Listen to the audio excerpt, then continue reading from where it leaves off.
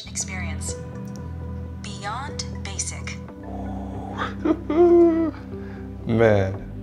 What's up guys, Willie Shaw here, and I just finished watching the announcement for the Sony a7 IV, and let me tell you, I am super excited because um, it has a lot of things I've been waiting on. Disappointed in some areas, but we'll talk about that later on. And um, just my initial thoughts and my first reactions of the Sony a7 IV coming from the a7 III. Let's get into it.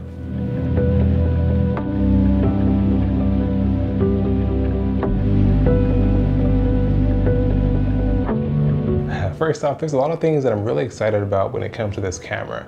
Um, I could kind of go on and on about them, but I made a list of the things that really stood out. Uh, coming from the a7 III, I think it's going to be some major improvements with the a7 IV. Uh, first thing is going to be the flip out screen. Um, this is kind of a no-brainer. It's been in the a7S III, it was in the FX3. We expect to see it here, a little bit bigger screen as well, and so I'm excited about that.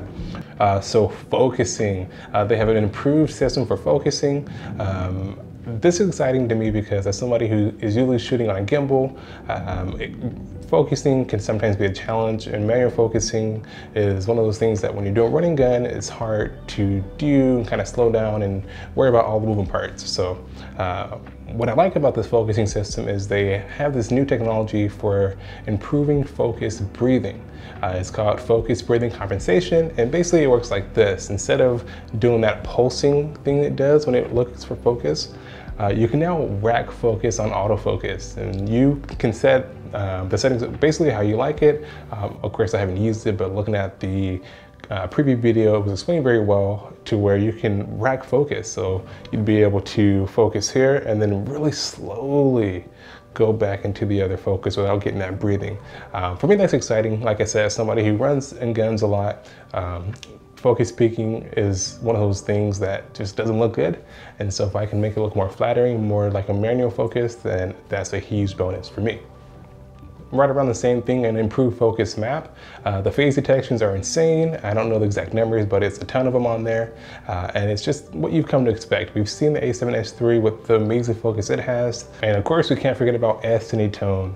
Somebody who uses the a7 III, uh, you know that color grading it has been uh, a challenge for lack of a better term. It falls apart easily, uh, but if you get it shot right, usually you can do a decent job the hard thing is you kind of feel like you're fighting with it. I feel like finally getting that 10-bit color science and having S-Cinetone are things that really take it to that next level. Uh, things that I'm excited about because, again, as somebody who uses the a7 III, uh, the colors can fall apart in some areas. And so it's nice and I'm gonna have that nice imaging to work with when I'm color grading and just be able to give myself a little bit more wiggle room in the grading area. Oh man, uh, so this is another feature I'm really excited about. Uh, with it being a hybrid camera, the a7 III got a lot of uh, hate for being a camera that, you know, the menu system, everybody complained about.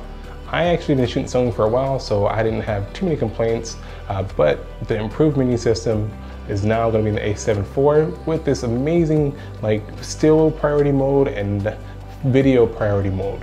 Uh, now these are great because you can save your settings for stills for photo taking, and you can also have saved settings for video taking.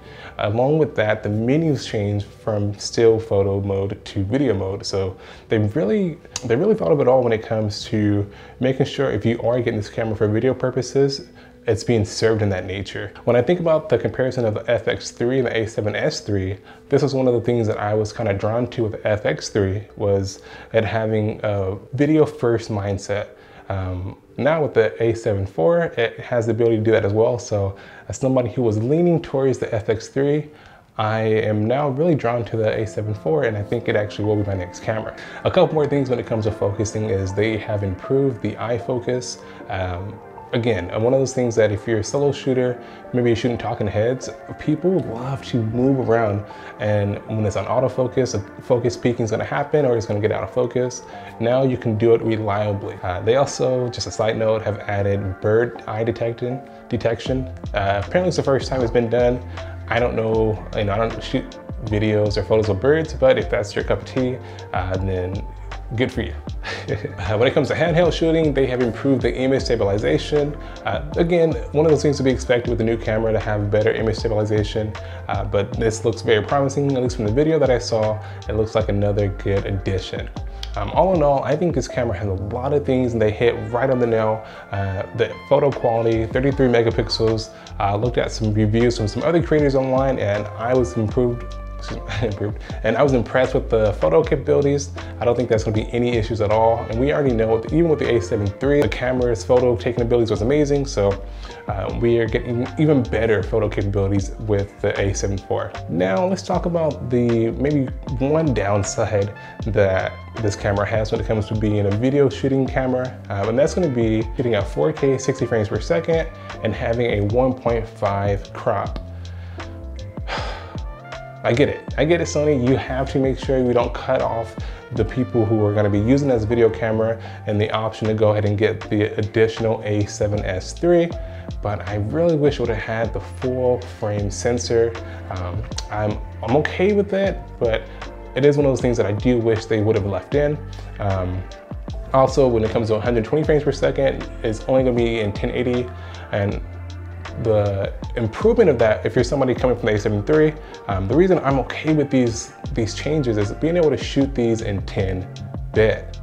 Now we very much still live in a 1080p world. Um, anytime that I do client work, I'm usually shooting in 60 frames per second on the a7 III and it's gonna be in 1080p, but it's kind of falls apart again with that 8-bit color science. Now having 10-bit, I think I'm gonna be okay with that. Along with the image sampling, it's now sampling from a 7K sensor down to that 4K sensor. You're just going to be getting a lot cleaner of an image. With the exception of the cropping on 4K 60 and not having 4K 120, um, which like I, I'm not too upset with.